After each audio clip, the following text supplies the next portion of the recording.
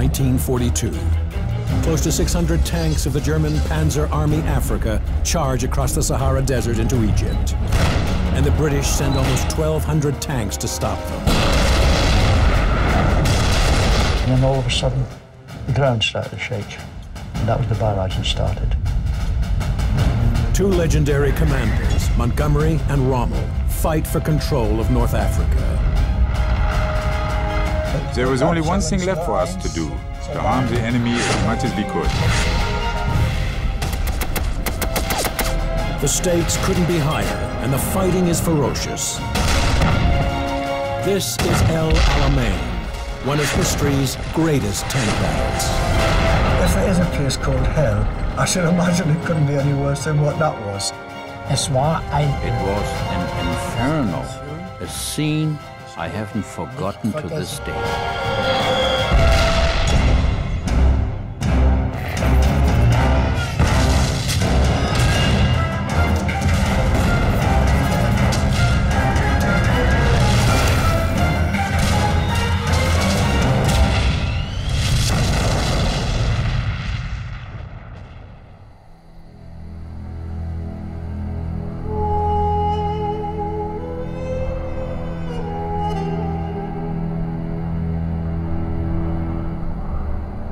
The Sahara.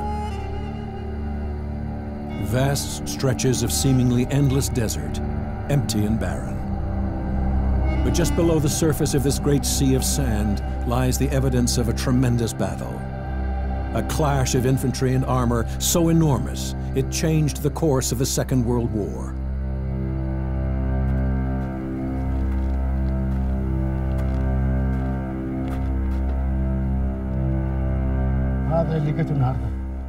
This is what I found today.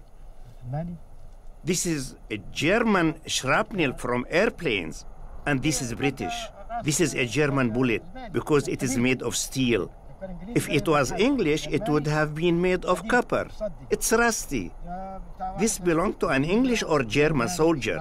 It belonged to a young man around 17 years old. I found it there. It's silver. Look at the teeth. All this area was used by the German army. The English were five kilometers from here. The Germans would fire east and the other side would fire back at them. There were armies everywhere.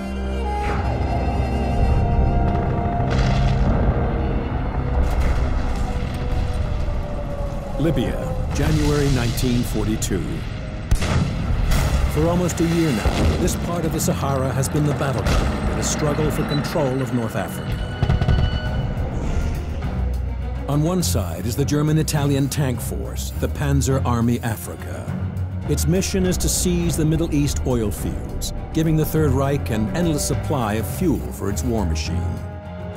On the other side is the well-supplied British Eighth Army, relying on sheer numbers and strong defenses to stop the Germans. The British are up against one of the most brilliant commanders of the war, Field Marshal Erwin Rommel, the Desert Fox. Throughout 1941, he keeps catching them off guard with lightning-fast surprise attacks.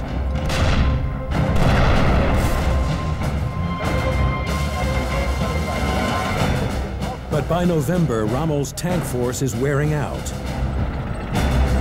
And the Allies strike back. Over six weeks, they drive the Panzer Army 800 kilometers west across the Libyan desert.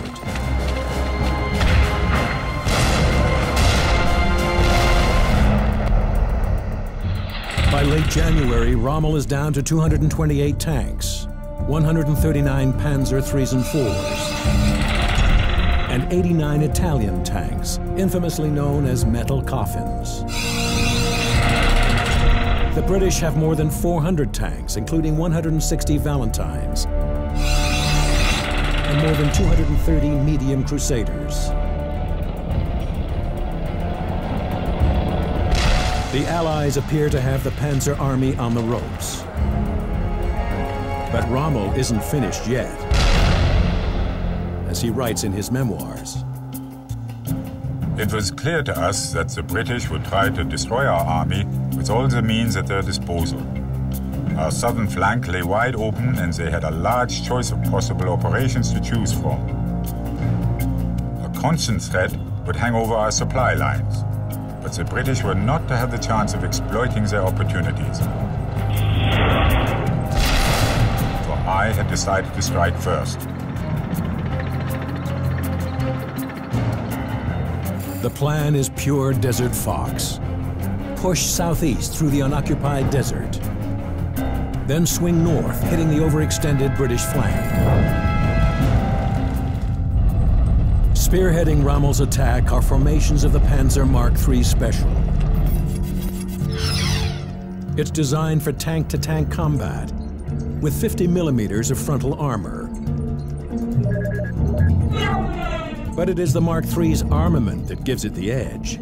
With a 50-millimeter main cannon, able to fire armor-piercing rounds at ranges up to 650 meters. In early 1942, the British Eighth Army has nothing that powerful. Our long 5-centimeter guns were outgunning the English ones. They didn't have long barrels at that time yet, their guns had shorter barrels, and that meant less penetrating power. They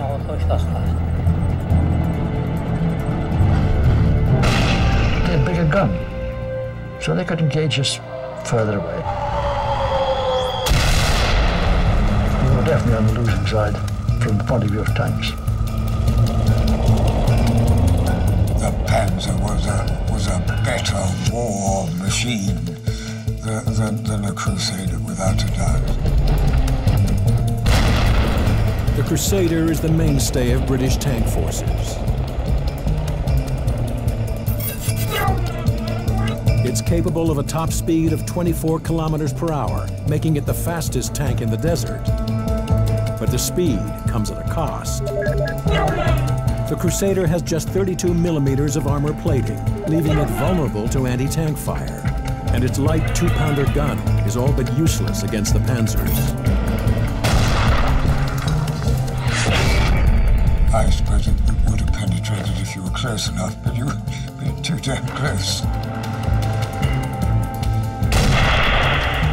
All that counted was on one side the thickness of the armor and on the other side the penetrating power of the gun. Those two factors were constantly competing against each other. Better armor was built and better guns were built. They only had the Cruiser 2, Cruiser 4, and the Crusader, and they were basically extinct.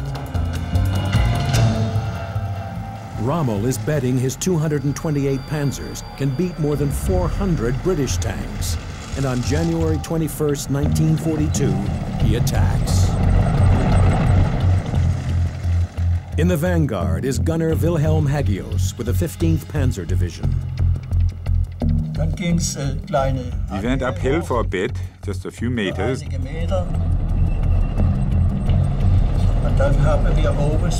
Then we were on the plateau and there was an English tank squad.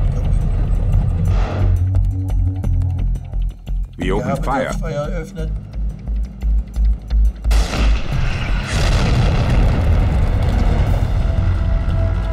We destroyed two tanks at a distance of about 1,000 meters. Then, we suddenly spotted a Crusader approaching our firing line from the right side.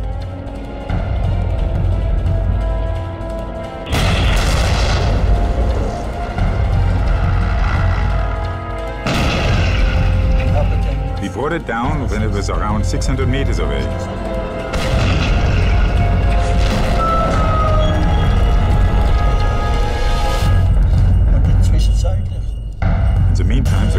Yelling over the radio, shoot, shoot.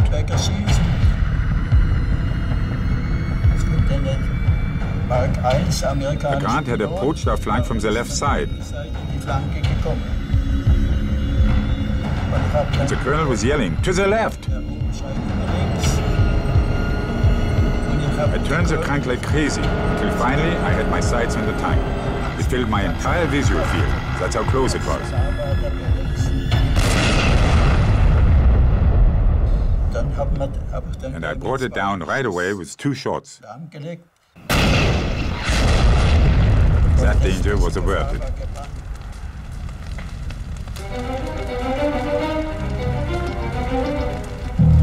Sind dann gleich im Anfang überrascht worden mit der ersten Piloten. We were surprised by these first American Grant tanks.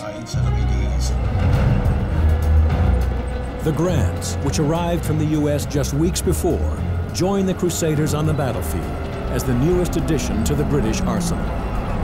The Grant was a, very good tank. And we first got the Grants just before the Battle of Alamein. And it was a turning point, take it from me. To get those tanks, wow, it was like somebody giving you a pocket watch, you know. It was, it was the, the thing. The Grants are a major improvement over the fast but vulnerable Crusaders. They have 51 millimeters of frontal armor, providing greater protection for their six-man crews. But its most unique feature is its powerful side-mounted cannon, a weapon that provides the Allies with an effective countermeasure against flanking attacks by German panzers.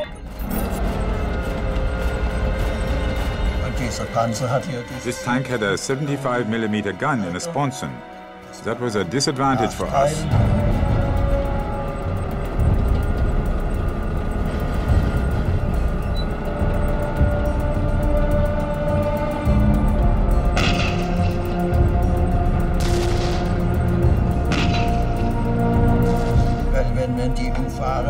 Because when you were flanking them, you were attacked from the left side and you had to turn the whole tank to fire.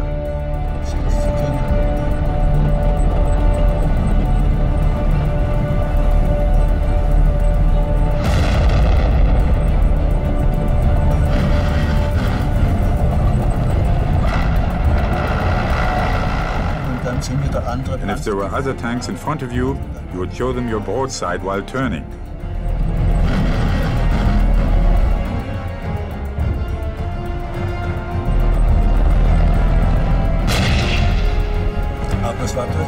It was a big surprise. But even the new Grant tanks aren't enough to stop Rommel. His flanking attack catches the 8th Army by surprise.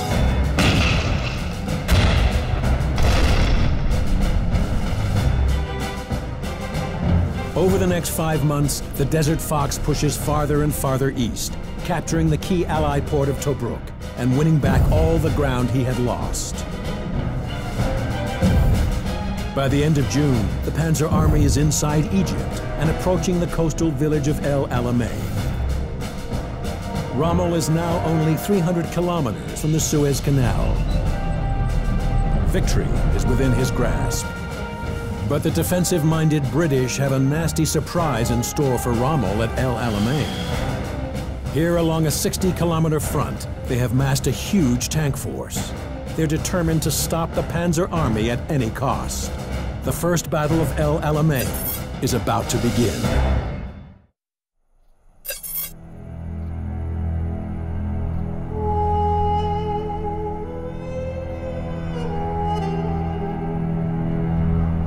El Alamein, Egypt.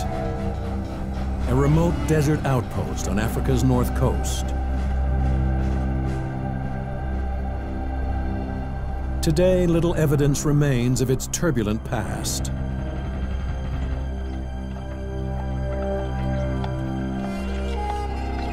But it was here, at this isolated railway stop, that two of the greatest tank battles of the Second World War took place.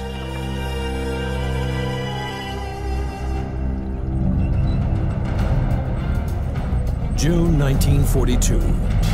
For five months, Erwin Rommel and the Panzer Army Africa have been fighting their way east, intent on overrunning British-held Egypt, swinging north, and seizing the oil fields of the Middle East. Rommel's advance has reached El Alamein. He is now just 300 kilometers from the Suez Canal, but the fighting has worn down the Panzer Army. We had lost a lot of tanks during the battles in Libya and Egypt.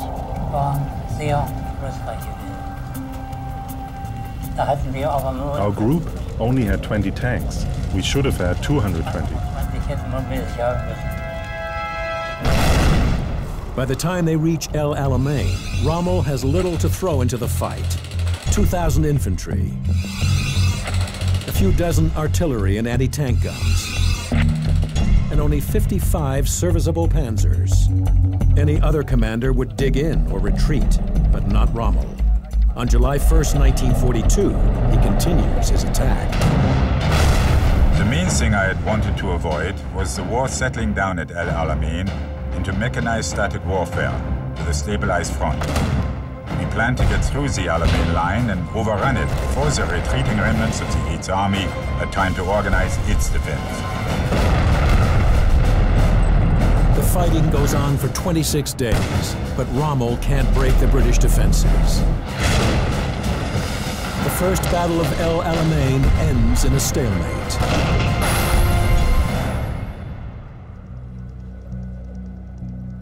The battle has been costly for Rommel.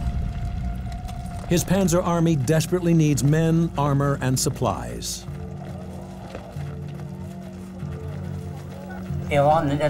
The German army in El Alamein was on the ropes. The biggest problem in the desert was a lack of water. You were always lacking water. It was even worse in El Alamein. It was now 1,500 kilometers to the standpipe, and every drop had to be transported by road. Rommel's rapid advance across North Africa has left him a long and vulnerable supply line. Reinforcements, fuel, ammunition, food, and water must be trucked 2,000 kilometers to the front.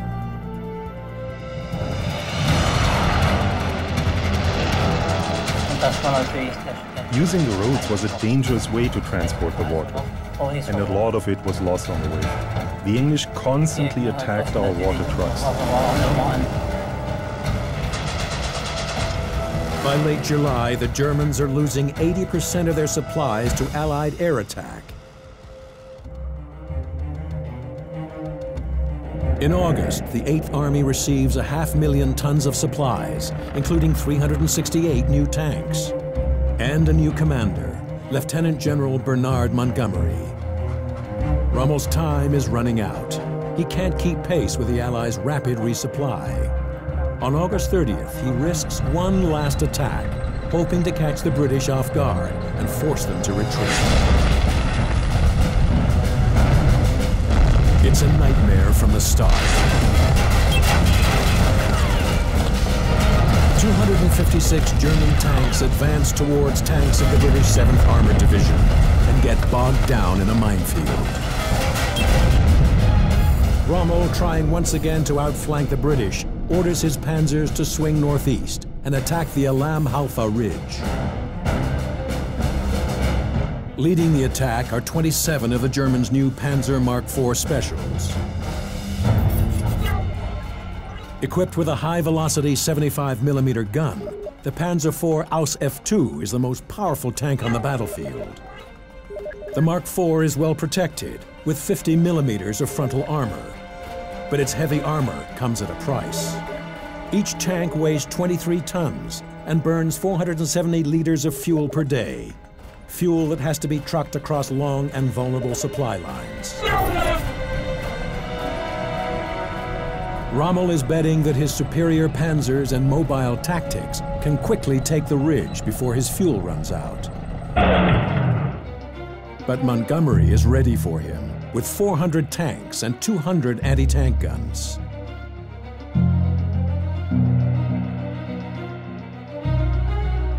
The key to the whole Alamein position was Alam Halfa Ridge. I would not allow our tanks to rush out. We would hold the Alam Halfa ridges securely and let him beat up against them.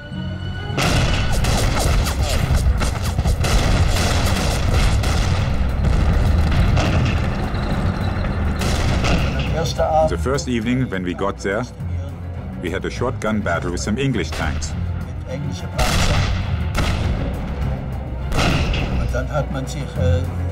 It would have been better if the entire attack had been cancelled.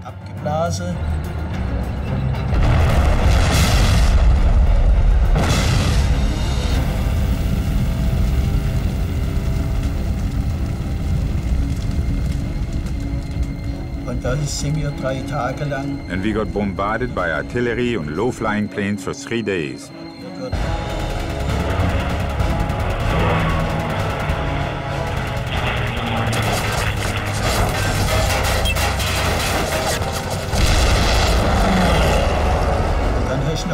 You could hear the bombs approaching one after the next.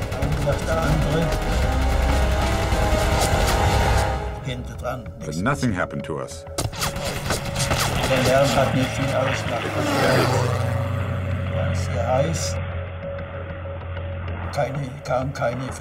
No supply vehicles got through to us. We only had a few scraps left to eat.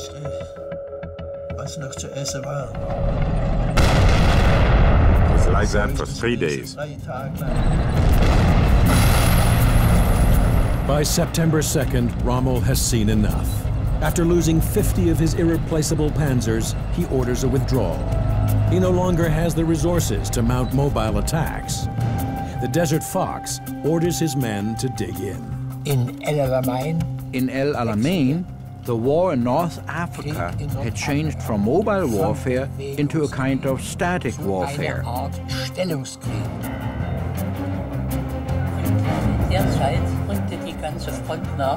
The entire front was moving up, and the new front line was now between the mosque in El Alamein and the Qattara Depression. It was a 60 kilometer front. The German line at El Alamein is ideally situated for defense. To the north lays the Mediterranean Sea, protecting the Germans' left flank. To the south, protecting their right, the Qattara Depression. 26,000 square kilometers of deep, soft sand, impassable to heavy armor. Rommel's Panzer Army prepares defensive positions, including powerful tank-busting minefields planted across the entire front. sind die sogenannten Teufelsgarten. These so-called Devil's Gardens were minefields that had been created by Rommel. Und dort wurden alles vergraben, We used every explosive we had in these minefields. These Devil's Gardens were very, very dangerous.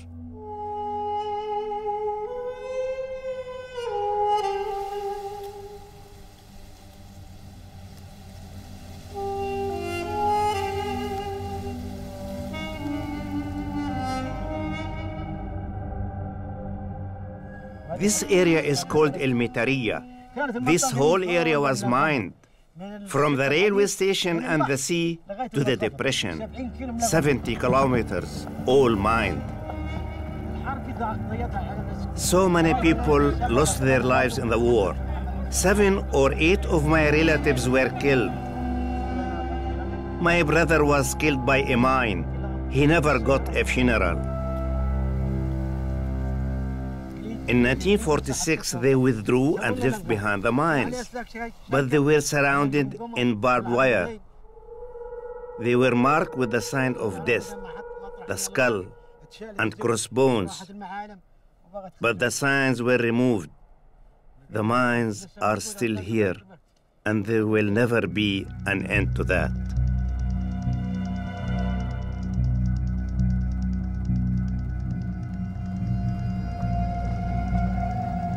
Rommel's battered and exhausted troops complete their defensive line at El Alamein. While across no man's land, Montgomery's forces grow stronger and stronger. He has assembled 10 infantry divisions and more than 1,000 tanks, all well stocked with food, water, ammunition, and fuel. Montgomery is ready for a final showdown with the Germans.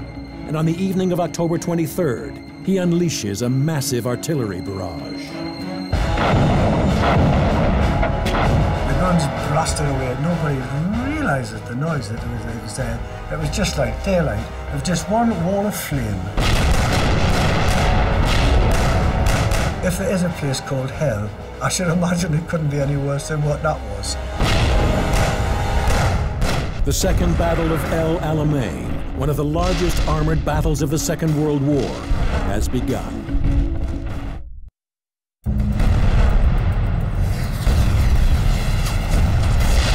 October 23, 1942, Allied Commander Bernard Montgomery attacks Field Marshal Erwin Rommel's Panzer Army Africa. And it begins with a massive artillery barrage. It's just like daylight, with just one wall of flame. The noise was horrific, and uh, no, so mess- messages of death going through the air, it really was.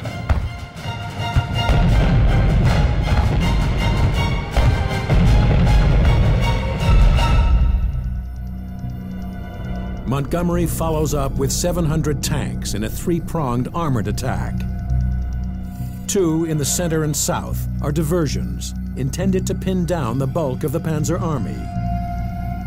But Montgomery's main force will attack German lines in the north, aiming to occupy the Coast Road and the strategically important Kidney Ridge.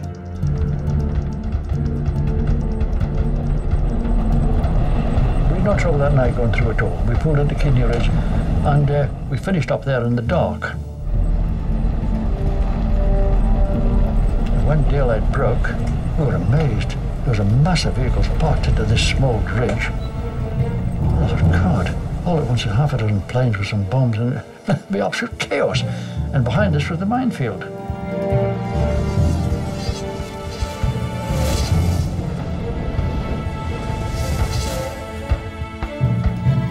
Hier also noch Masse. They had five or six times the number of tanks that we did.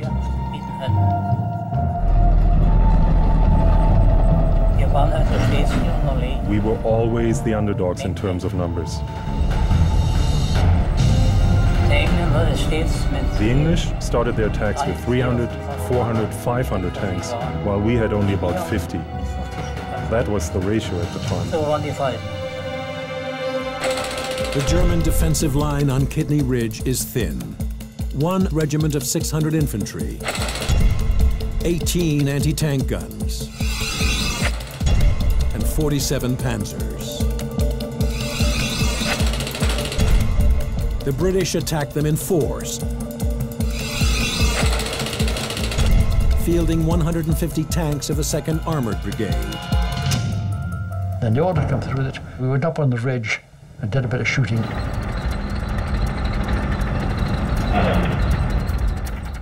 I'm searching for a target. That's, that's my job. The gunner carries out my orders. There's so much dust flying about, that is really chaos. Dust obscures the vehicle which is creating it. It could be a truck, it could be a tank. I'll say, uh, target, uh, traverse left, traverse left, traverse left on, tank, Mach 4, and fire at will. You fire at that tank, and if that one blew up, you'd switch to another one.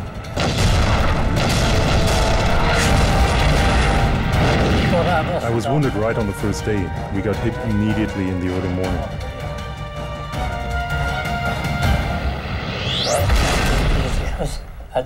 A shell penetrated our armor and exploded inside our tank. This is a splinter from a tank shell from an English gun.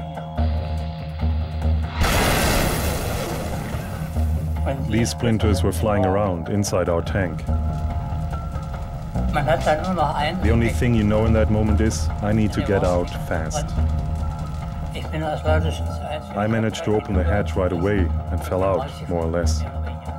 Well, I lifted myself with my arms because my legs were already broken. Open the hatch, pull yourself out, and then drop yourself down. It was two meters to the ground. You knew it was going to hurt, but you had no other choice.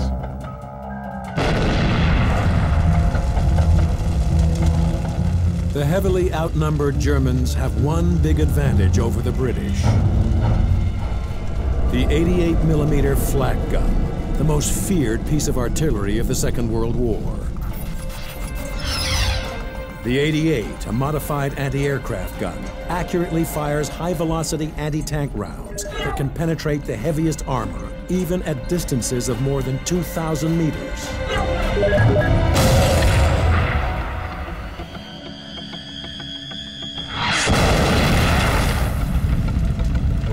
When they used the 88 millimeter gun as an anti-tank gun, then of course uh, we were definitely on the losing side. There was another regiment on our right, which was one of the two regiments that had come from Palestine, never been in action before. If You go into action and try and keep the hull down and just get up high enough to be able to use your gun. And they were sitting out there on top of the ridge. An 88 millimeter fired six rounds and blew up five tanks.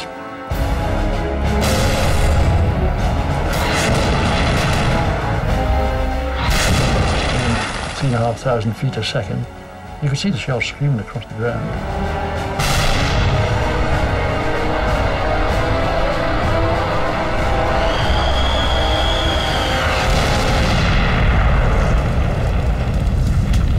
there before in a flash. You know? Sudden, something attracts you. There's a tank burning just next to you, and you're relieved. It sounds a horrible thing to say. Somebody just died in that tank, probably, but you're relieved.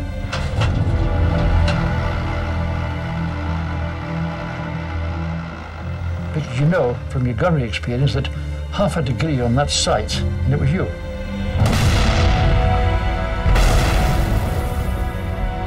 And it's something that's difficult to live with, actually. The feeling, I mean, difficult to live with.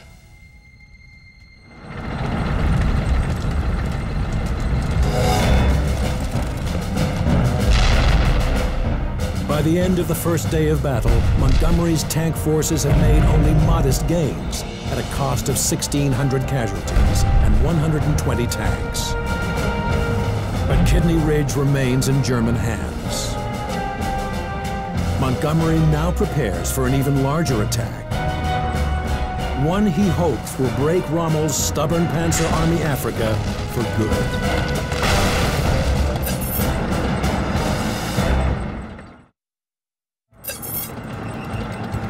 October 23, 1942.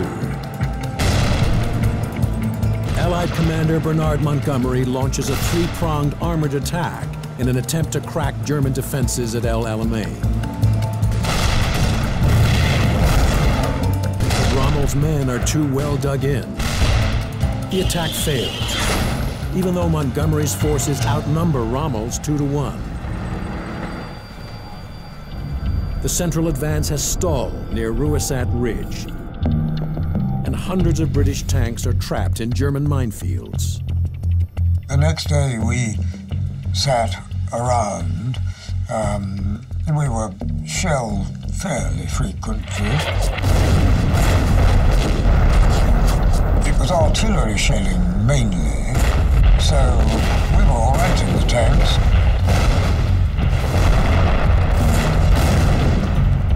Four lanes were going to be cleared, and we would then go through. But of course, it, it didn't go completely to plan. The poor sappers were being machine gun killed. Eventually, we got the all clearance to go. We got through, we, we got what we thought out of the minefield. The tapes had vanished. And when the tapes vanish, you're supposed to be free. This is uh, the whole battalion, you know. This is 57 tanks following in line and opening out. We went down into the wadi, came along and went up onto the other side. We got under the ridge. As soon as we got up the other side, we couldn't get over the top because he was firing straight at us.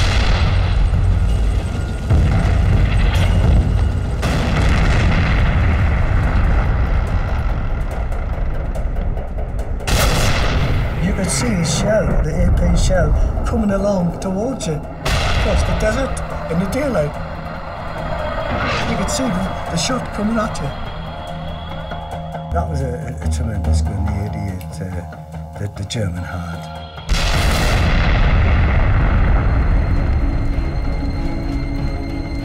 We then start taking on the anti-tank guns firing the HE.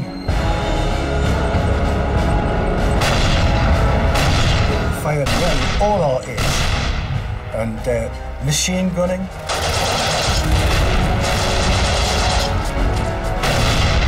because a tank battle started.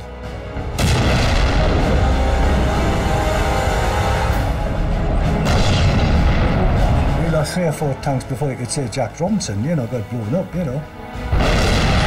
You're, you're just there, you're weighing it all up, you know.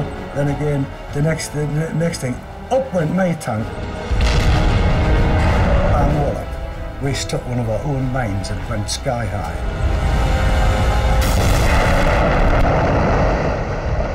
They all bailed out, the two in the bottom were pretty well knocked up. I was all right, I was in the turret. Commander was all right, he got out. I jumped out, uh, pretty smartish, and when I, when I landed down here, there's a Tellermine between my feet. I jumped out and I, I thought to myself, well, how lucky can you get?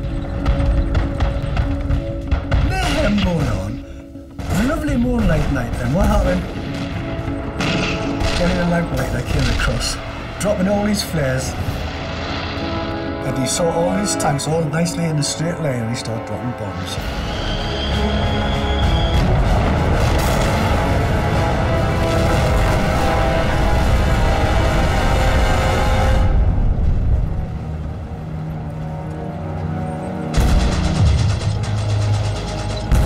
Despite the fierce armored assault, the Panzer Army continues to hold the line.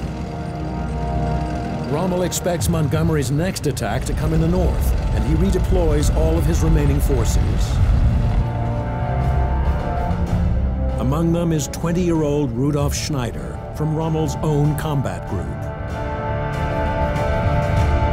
Und wir haben, hatten dort am 25. On the night of October 25th, we took position in an area that was very flat. Und das Gebiet ist ja sehr, sehr eben. In the east, you could see the rising sun. Die Sonne blendet The sun blinds you, and the noise, the rumbling, was our only indication of the enormous number of vehicles and tanks that were approaching us.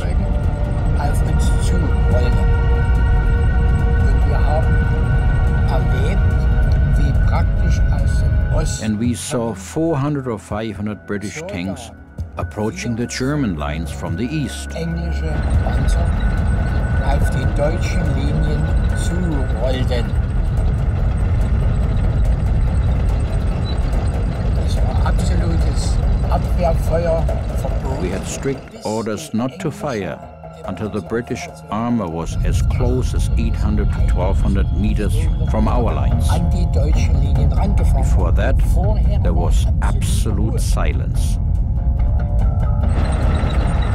The hundreds of approaching tanks include the Allies' newest weapon, a tank so fast and powerful that it would soon become the best known piece of mobile armor of the Second World War.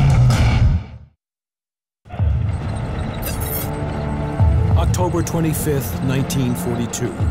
The Allied offensive at El Alamein enters its third bloody day. And the cost on both sides has been enormous. But despite his mounting losses, Montgomery continues to order wave after wave of massive armored assaults directly into the thin German line. We saw 400 or 500 British tanks approaching the German lines from the east. circa 400, 500 englische Panzer auf die deutschen Linien. Sherman tanks were approaching us. At the time, we didn't know that these were Shermans. Scherbenpanzer, ja.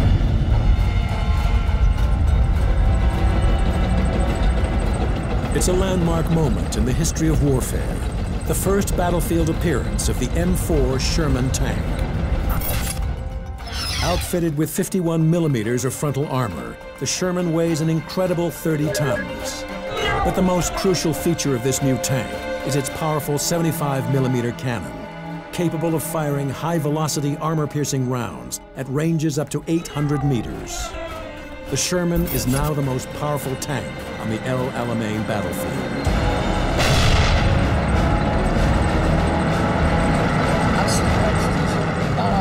Waren und man konnte sie praktisch We waited until they were visible to our naked eyes. The anti-tank guns also had to wait until they were within 800 meters of the German front line. And then the inferno erupted.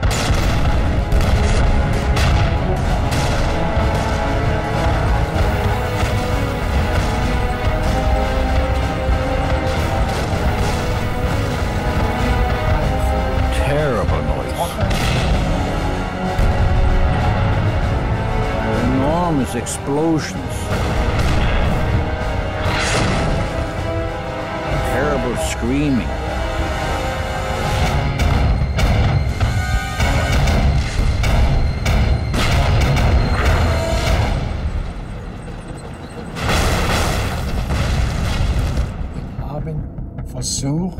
We were just trying to defend ourselves, to survive. Um,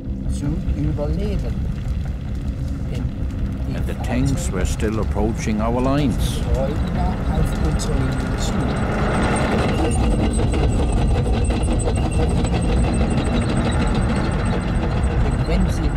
When the drivers figured out they were close to our trench, they would simply use their treads.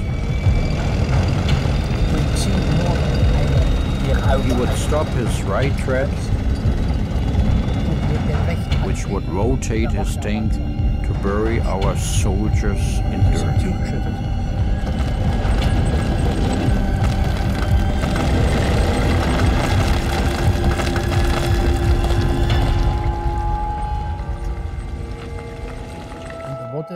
der im Deckungsloch liegende The soldiers in the trench were buried alive or decapitated.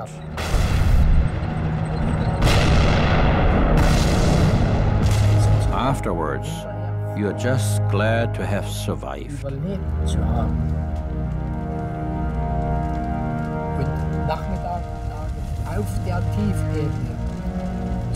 the late afternoon, there were around 300 to 450 destroyed British vehicles in the lowlands. They were burning.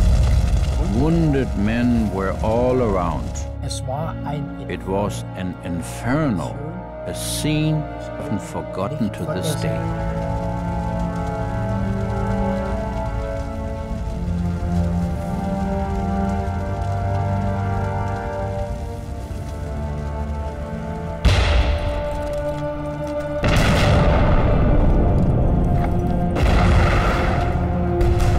Rommel's exhausted Panzer Army holds the line for the next five days. But by the 1st of November, the Germans are down from 500 tanks to just 35.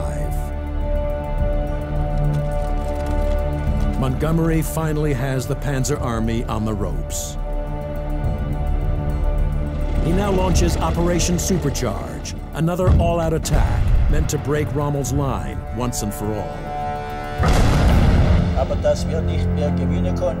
I knew that we couldn't win anymore, and there was nothing left for us to do. On the morning of the 5th, we only had eight tanks left, and we weren't going to get any more. We knew that this was the end of the Africa campaign, but nobody would talk about it. Not a word. In terms of equipment, this was inevitably the end of the German army. The fighting goes on for two more days until Rommel, with only 12 panzers remaining, finally orders a retreat, ending the Second Battle of El Alamein. It's the first major Allied victory of the Second World War and comes at a steep price on both sides.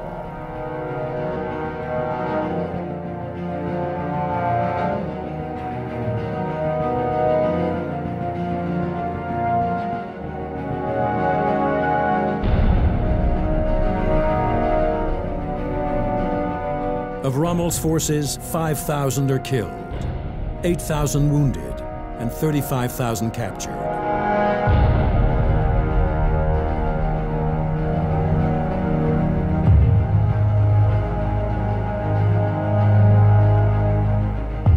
Montgomery's losses include 2,300 killed, and over 2,200 missing. 8,500 are wounded, and 500 of his tanks are destroyed.